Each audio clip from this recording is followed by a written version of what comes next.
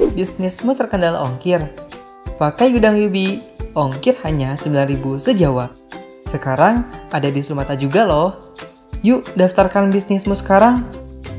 Gudang Yubi, saluran distribusi online. Biasanya, setiap orang itu tidak murni memiliki satu tipe saja. Bisa jadi dua tipe, atau bahkan lebih. Namun, ada yang dominan yang pertama ini, atau yang saya sebut namanya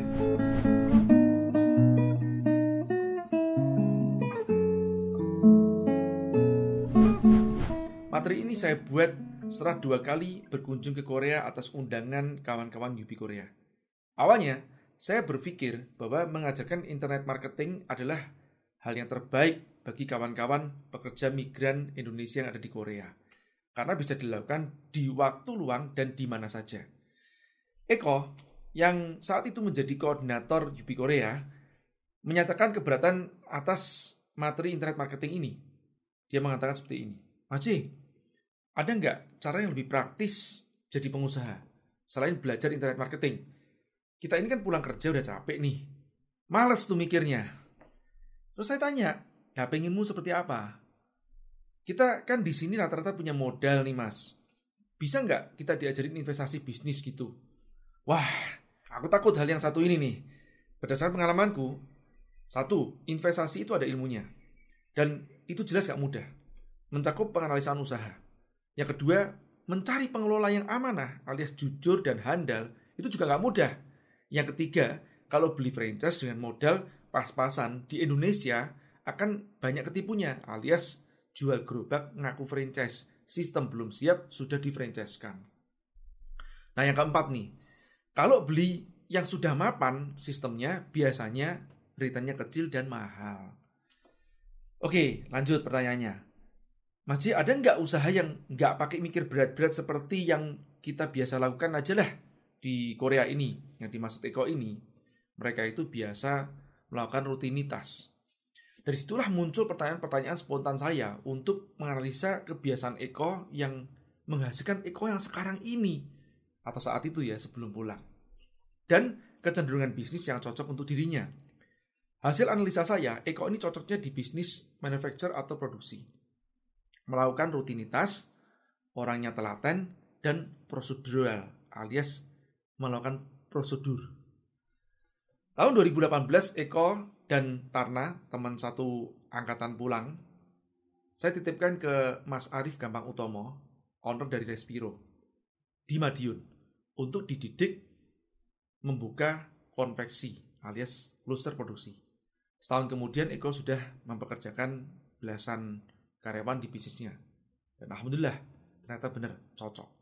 Atas dasar studi kasus Eko dan Tarna, saya membuat materi pemetaan bidang usaha ini berdasarkan ketahanan seseorang dalam menjalani suatu proses bisnis. Materi ini sebenarnya belum teruji secara akademis dan harapan saya dengan saya menyampaikan dapat dikembangkan metodologi tesnya untuk menghasilkan akurasi yang tinggi. Oke, kita masuk ya satu persatu. Yang pertama adalah tipe kreator. Seperti brand owner, seniman, penemu. Mereka adalah pencipta produk dan pasar baru. Ciri-cirinya, pengambil risiko atau berani, cenderung kreatif atau inventor, berani beda, nggak suka rutinitas atau prosedur. Mereka biasanya disebut juga tipe opsional. Yang kedua adalah tipe manufacturer atau produsen. Mereka ini adalah penerima pesanan. Ciri-cirinya memilih risiko yang relatif lebih kecil. Betah kerja, rutinitas, dan prosedural. Telaten.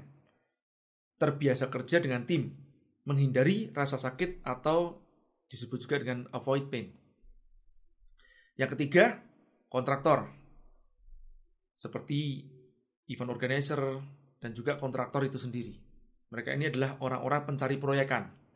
Ciri-cirinya menyukai variasi kerjaan, orderannya nggak tetap, dan lebih suka bekerja di luar ruangan. Yang keempat, distributor. Contohnya reseller, dropshipper, dan juga mungkin e-commerce itu sendiri. Mereka adalah pemasar produk yang sudah ada Jadi tidak membuat produk dari awal. Ciri-cirinya menjual atau mendistribusikan suatu produk yang sudah ada. Suka membangun jejaring, mengejar kesenangan atau gain pleasure. Ini istilah dalam NLP ya kawan-kawan. Yang kelima, traffic generator. Seperti influencer, banci panggung, kemudian pemilik media.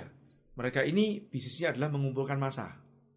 Ciri-cirinya pandai memengaruhi orang lain, baik secara verbal ataupun juga non-verbal. Yang dimaksud misalkan seperti tulisan. Linguistik. Kreatif di desain visual, bisa. Copywriting, atau pembuat konten. Suka posting atau membuat konten yang mengundang traffic. Dan yang terakhir, ini plus satunya. Kalau tadi ada lima, ini plus satu. Sebetulnya tidak saya masukkan dalam murni sebagai seorang pengusaha. Tapi dia bisa berpartner. Nah, plus satunya itu apa? Adalah supporter. Penerjemah konsep, manager. Mereka adalah tipe pelaksana. Ciri-cirinya, mereka bukan pengambil risiko. Makanya biasanya mereka ini tidak bisa murni menjadi pengusaha sendirian. Mereka cenderung berada di belakang layar dan bisa jadi pengusaha asalkan berpartner dengan orang lain. Nah, kenapa investor gak saya masukkan? Karena anggapan saya, materi ini harus bisa diberlakukan bagi orang-orang dengan modal seminimum mungkin, bahkan tanpa modal sekalipun. Biasanya, setiap orang itu tidak murni memiliki satu tipe saja, bisa jadi dua tipe, atau bahkan lebih. Namun ada yang dominan yang pertama ini atau yang saya sebut namanya yang utama. Misalkan nih, saya adalah tipe kreator. Ini adalah tipe utama saya. Tipe sekunder saya adalah traffic generator atau penarik traffic. Nah, kira-kira ada tipe yang mana?